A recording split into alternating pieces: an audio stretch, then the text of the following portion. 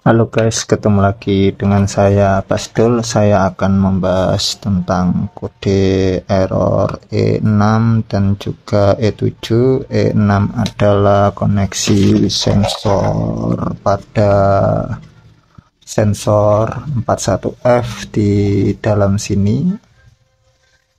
Kalau untuk E7 adalah penguncian pada pedal gas yang anda periksa pertama kali adalah ini guys di sekitar sini.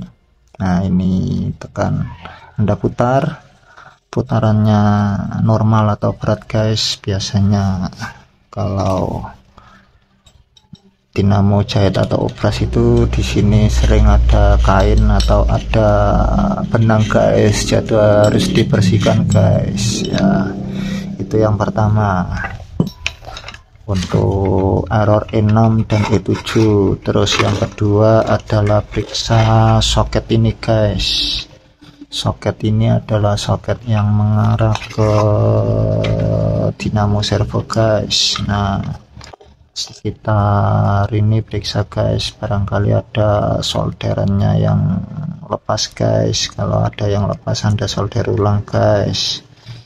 Ya terus ini ada hubungannya dengan IGBT jadi anda cek yang ke IGBT ini apakah ada IGBT yang rusak.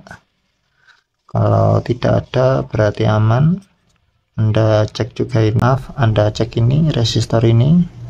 Nah, juga kapasitor ini anda cek. Kalau sudah ini sudah tidak ada masalah anda cek ini soket ini guys. Soket. Anda cek. Terus waktu anda pasang soket juga harus bagus. Jangan kendor. Jadi periksa goyang-goyang soket ini. Yang kalau koneksinya bagus berarti tidak tidak ada masalah. Untuk memastikannya anda bisa lepas ini guys ya. Lalu anda tes menggunakan avometer OHM skala 1 atau OHM skala 1 atau tanda buzzer ini. Anda cek guys. Nah. Anda harus periksa masing-masing kabel barangkali ada kabel yang putus atau koneksinya kurang baik. Anda harus tes sesuai dengan warna kabel dari ujung ke ujung Kadang kabel terlihat bagus pada bagian luar, tapi bagian dalam serabutnya ada yang terputus sehingga koneksinya kurang bagus. Kadang juga ujung kabel tidak nempel pada soket dengan baik atau ada solderan yang terlepas. Bisa menyebabkan error E6 atau E7. Itu untuk error E7 untuk error in6 termasuk ada sensornya yakni sensor 41F itu Anda harus periksa satu persatu. Caranya bongkar dulu casing dan penutup dari motor servo ini.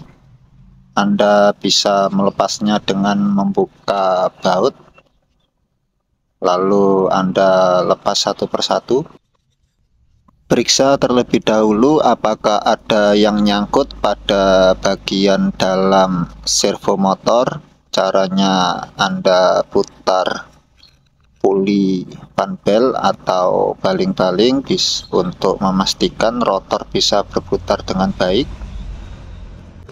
Lalu lepas kipas pendingin bagian ini lepas ketiga baut tersebut lalu cabut casing motor bagian belakang.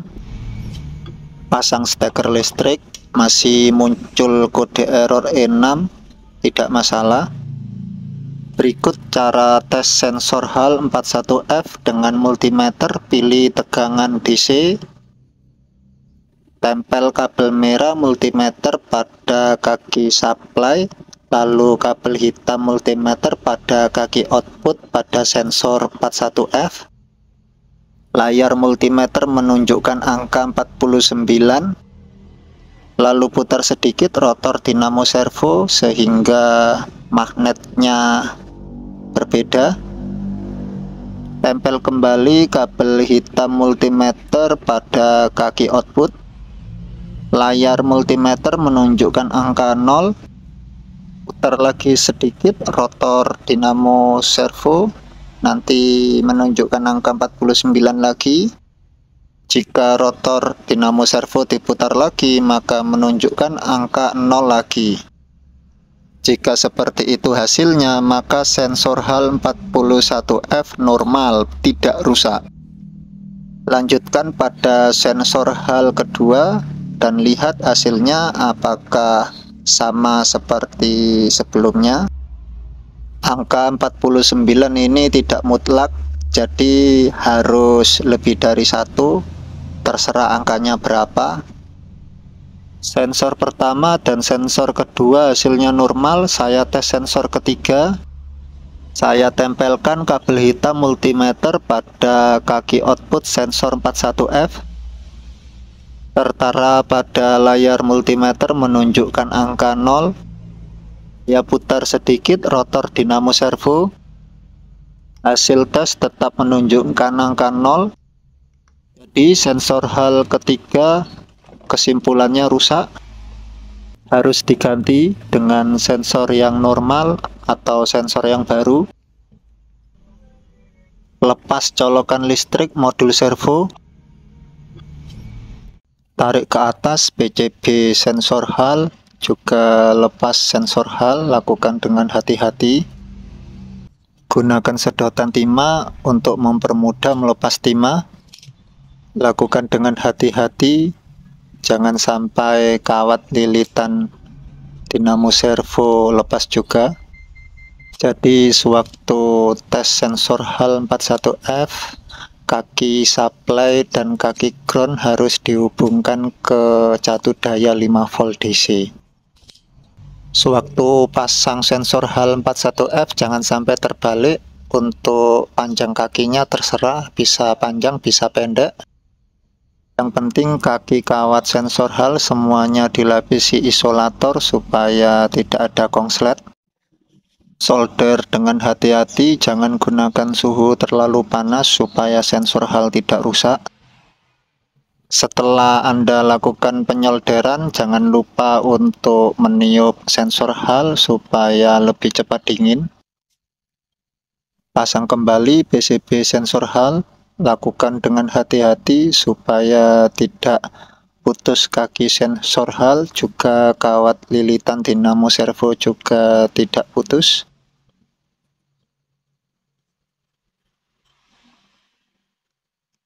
PCB sensor hal harus menancap pada dudukan dengan baik.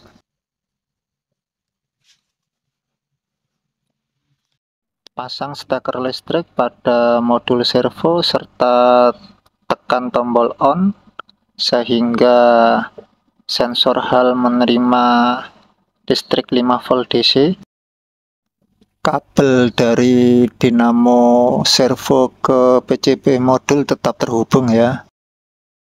Saya akan melakukan tes pada sensor HAL 41F yang saya ganti tadi apakah bisa berfungsi dengan baik.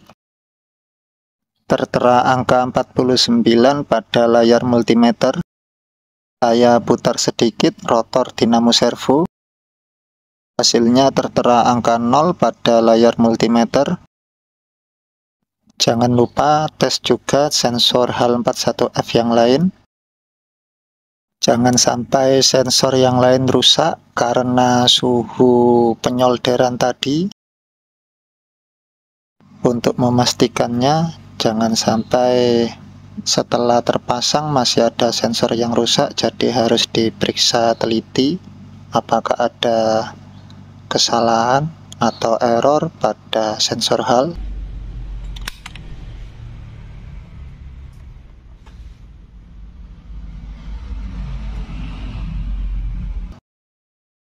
pada LCD modul tidak muncul kode error jadi saya tekan pedal gas hasilnya dinamo motor servo bisa berputar kembali dengan normal. Kecepatannya juga bisa diatur. Sekian video dari saya. Klik tanda jempol. Klik subscribe. Juga tanda lonceng